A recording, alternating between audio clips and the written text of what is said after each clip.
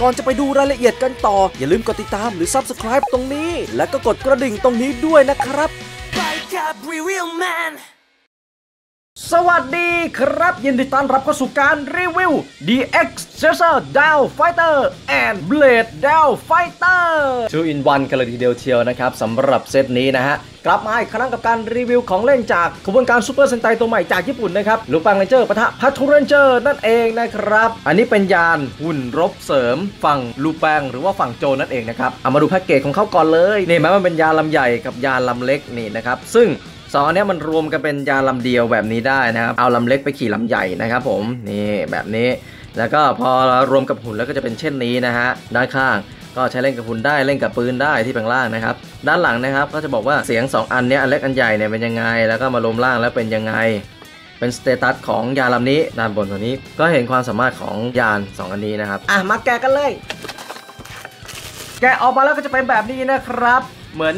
อะไรแม่ลูกเลยเนี่ยมีแม่อยู่แล้วก็ลูกขี่หลังอยู่ข้างบนนะครับผมมาดูรายละเอียดกันก่อนนะครับผมนี่รูปร่างยานเป็นอย่างนี้นะฮะดูโฉบเฉี่ยวดีนะฮะเหมือนพวกยานความเร็วสูงอะไรพวกเนี้ย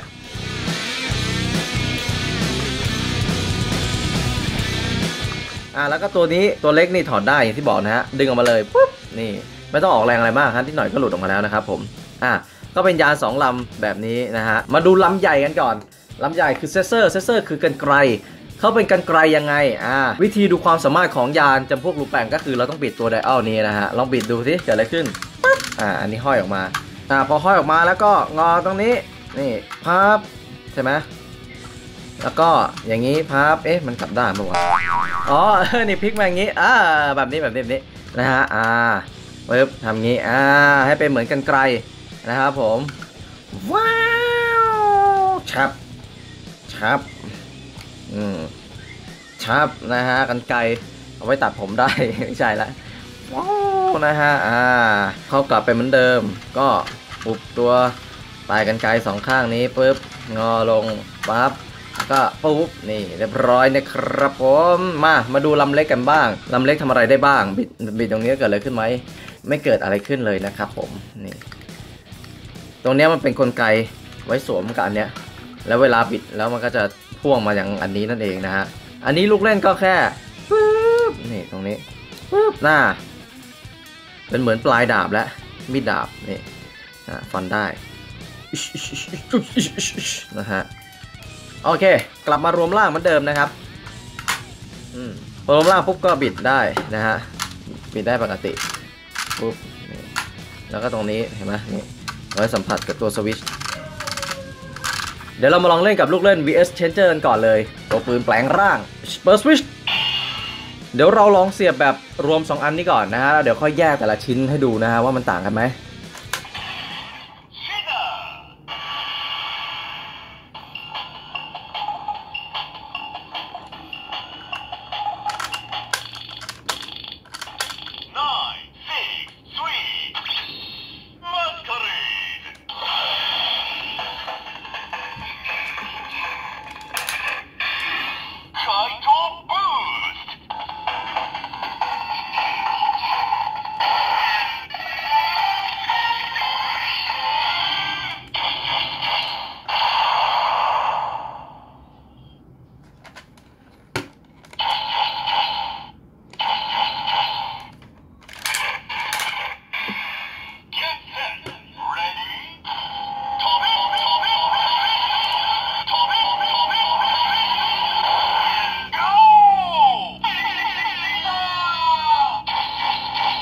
เมื่อกี้เราเล่นเสียงทั้งหมดให้ดูแล้วแบบรวมร่างอย่างนี้ เดี๋ยวจะมาแยกร่างให้ดูนะครับว่ามันอะไรยังไง เดี๋ยวรอแค่อันใหญ่เพียวๆก่อนเลยนะครับ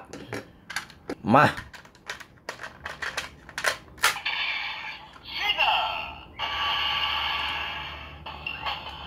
เสียงเหมือนเมื่อกี้ไหมเหมือนกันเลยนะฮะ Sizzler นะฮะอยากกินสเต็กไม่ใช่ Sizzler กรรไกร อะหมุนตรงนี้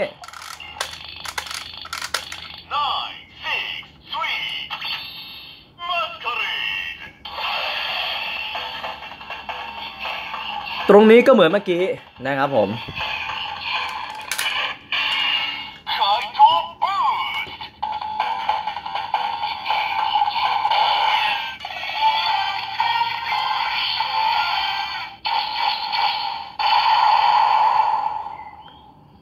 เสียงเอฟเฟกตรงนี้ก็เหมือนเมื่อกี้นี้ เสียงเหมือนตัดกันไกลแชบแชบแชบ อ่ามีมือเป็นเอฟเฟกต์เสียงกันไกลอ่า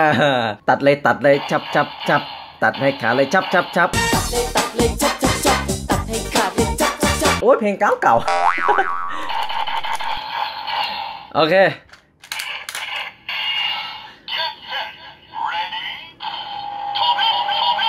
ขยายร่างกันหน่อย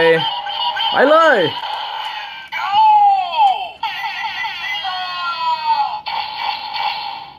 ตอนท้ายก็เป็นคำว่า Scissors นะครับผมเหมือนกับครั้งแรกที่ทำให้ดูเช่นเดียวกันนะครับ หมดแล้วอะอธิบายก่อนว่าทำไมถึงเหมือนกัน เพราะว่าเมื่อกี้ตอนเรารวมร่างใช่ไหมถึงมันจะรวมร่างอย่างนี้ประกบกันก็จริง แต่ว่า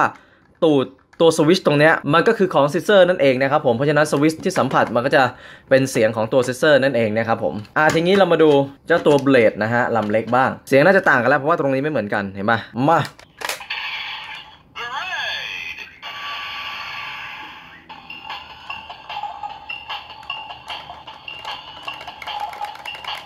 มุนไม่ได้นะจ๊ะเพราะฉะนั้นถ้าเราอยากได้ยินเสียงเราต้องเอาอะไรก็ได้มาสัมผัสตรงนี้นิ้วก็ได้เนี่ยสามที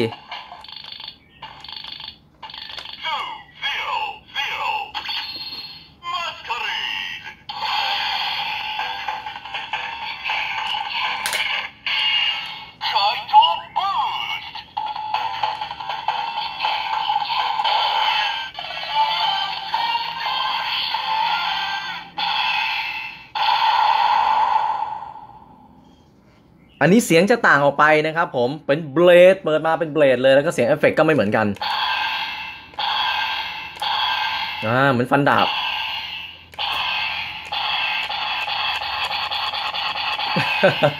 นะอ่าต่อมา ขยายล่าง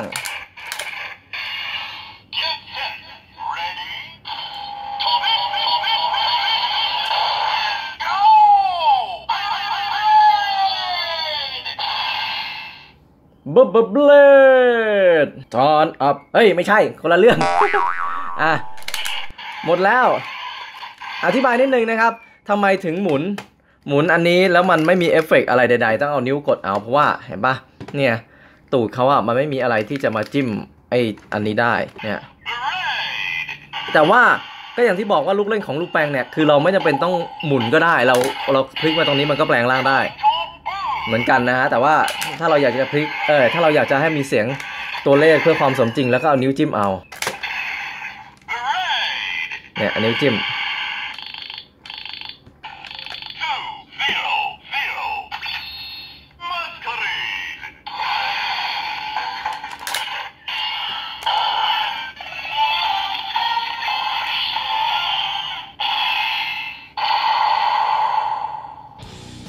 จบจากลูกเล่น vs changer หรือว่าที่แปลงร่างนะครับ ก็มาต่อกับลูกเล่นของหุ่นยนต์นั่นเองนะครับ มาเลยว้าวนะฮะวิธีการก็แยกร่างเขาก่อนชิงแยกเสร็จแล้วก็แยกแขนตรงนี้ออกชิงอ่าแขนโดนแป๊บหนึ่งนะ ต่อมานะครับมาดูที่ลำใหญ่เซเซอร์ก่อนเลยนะครับผมแล้วก็หมุนตรงนี้เราห้อยลงมา พอห้อยลงมาเสร็จปุ๊บนะฮะจับตั้งตรงนี้ แล้วก็หักตรงนี้ลงมาปุ๊บแล้วก็ตั้งอย่างนี้ปั๊บนะฮะแล้วอันนี้เอาขึ้นปุ๊บ แล้วก็หมุนแบบนี้นี่นะฮะแล้วเราก็ติดเอาตรงเนี้ยมาติดตรงนี้นะฮะมันจะเป็นแบบนี้นี่มันจะเหมือนถือโล่ป่ะอ่านะครับ ต่อมานะครับแขนข้างนี้นะฮะเราก็มาดูที่ลำเล็กเบลดนะฮะเบลดทำให้เป็นดาบงี้ ตรงนี้เป็นเหมือนด้ามจับนะครับผมเอาเข้ารูนี้ได้เลยนี่อ่า เรียบร้อยแล้วว้า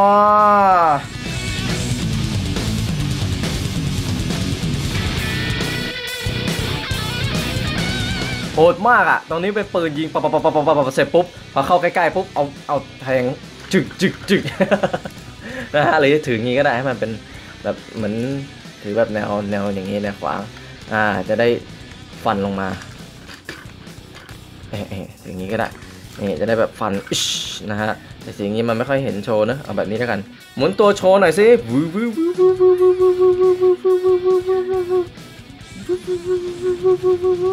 อ่าดูนี่เป็นรูปมือด้วยอ่าเป็นรูปล่างมือไหมจับโล่ทีโล่นะครับผม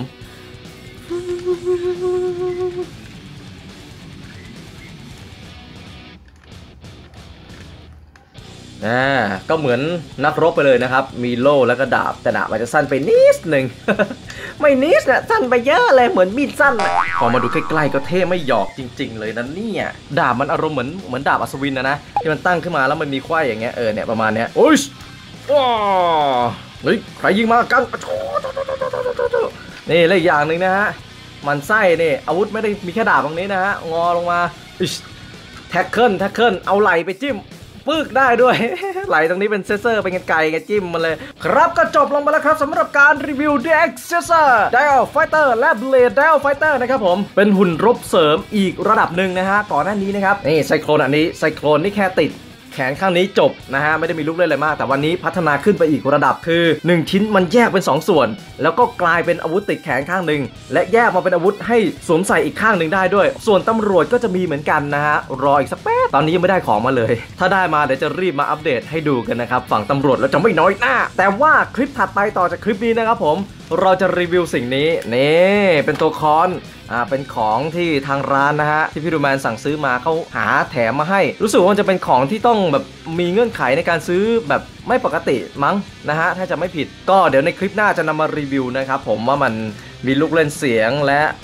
เล่นอะไรยังไงได้บ้างนะครับสำหรับคลิปนี้นะครับก็ต้องลาไปก่อนขอบคุณทุกคนมากครับที่ดูกันจนจบนะครับแล้วก็อย่าลืมกดไลค์และก็แชร์ให้เพื่อนๆดูกันด้วยนะครับและใครยังไม่ได้กดติดตามอย่าลืมกดติดตามนะครับผมสำหรับวันนี้ต้องลากันไปก่อนแล้วอะก่อนจากกันไปกดตัวไอบริเวณนี้ไปดูรีวิวแมน 1.5 นะครับ กับสติกเกอร์ลายรีวิวแมนด้วย รวมทั้งคลิปรีวิวของเล่น ลูแปงเรนเจอร์ปะทะแพทเรนเจอร์เก่าๆ นะครับ ไปย้อนดูได้สำหรับใครที่เพิ่งเคยเห็นคลิปนี้เป็นคลิปแรกในของเล่นซีรีส์นี้นะฮะสำหรับวันนี้ลาจริงๆเลยครับ สวัสดีครั